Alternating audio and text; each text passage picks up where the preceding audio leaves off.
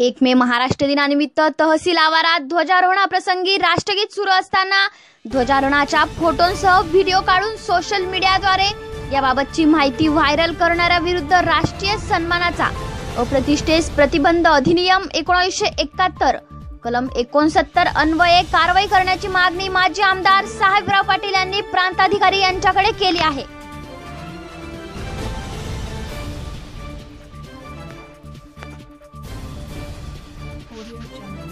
एक मे रोजी अमनेर येथील तहसील आवारात आमदार शिरीष चौधरी यांच्या हस्ते ध्वजारोहण करण्यात आले.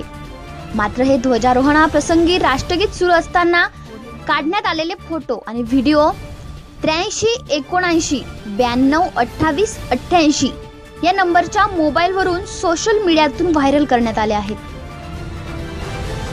याबाबत माजी आमदार साहेबराव पाटील यांनी प्रांताधिकारी यांना दिलेल्या निवेदनात म्हटले आहे की सदर घटना राष्ट्रीय सन्मानाच्या प्रतिष्ठेस प्रतिबंध अधिनियम अधिनियम क्रमांक एकोणसत्तर अन्वये चुकीचे असून कायद्यात असे करणे अभिप्रेत नाही.